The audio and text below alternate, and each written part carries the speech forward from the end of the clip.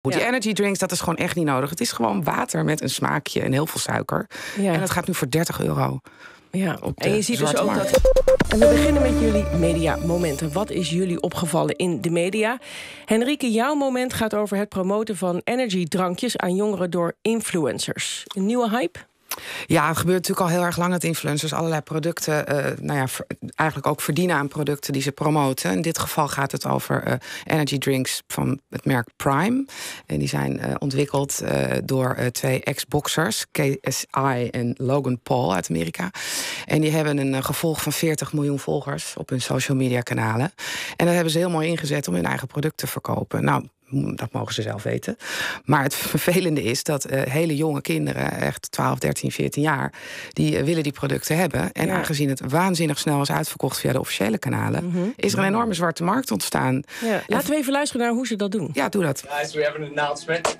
We have a project we want to tell you about. We have created our own drink company. Yes! Ladies and gentlemen, No longer rivals, brothers, business partners. That's it. We love y'all.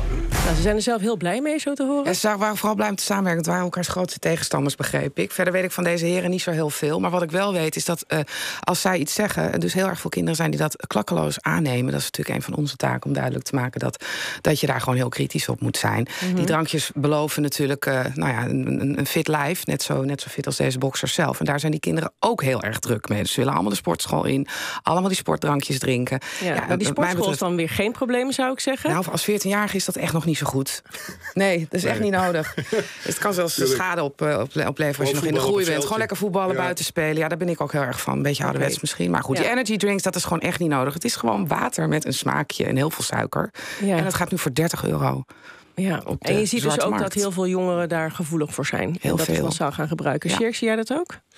Nou, ik, ik, ik moet heel eerlijk bekennen, ik heb eh, dochters van boven de twintig. Dus dat, nee, daar werkt het niet meer bij. Die zijn met andere dingen bezig. Ja. Nee, nee Ja. het, het onttrekt zich aan mijn waarneming. Maar ik denk dat het daarom juist zo belangrijk dat, dat dat voor veel volwassenen geldt. Mhm. Dat het buiten hun zicht blijft. En zelfs ouders hebben misschien soms niet altijd door wat, eh, wat hun Nee, daarom moet je, ook, moet je ook altijd meekijken. Ja. Ik, ik Ja. had hem al een tijdje gehoord, maar mijn zoon wilde het dus ook eh, hebben en verkopen. Was heel druk mee. En toen dacht ik, nou eens even kijken wat het precies is.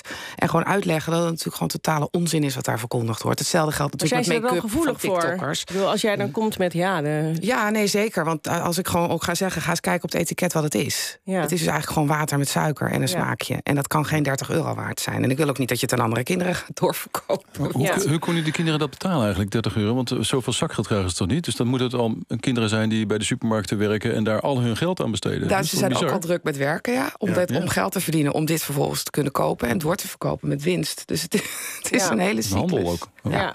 Maar wat, wat kan er tegen gebeuren? Want je zei het al, ja, het zijn gewoon twee heren die een, eh, die een Ja. bedrijfje zijn begonnen. Ja, er- hoeft verder niet ooit tegen opgetreden op andere manieren. Maar ik denk wel dat het handig is dat als kinderen hiermee bezig zijn... dat hun ouders of leerkrachten even uitleggen hoe het zit. We gaan nog niet verbieden, we gaan tegen influencen.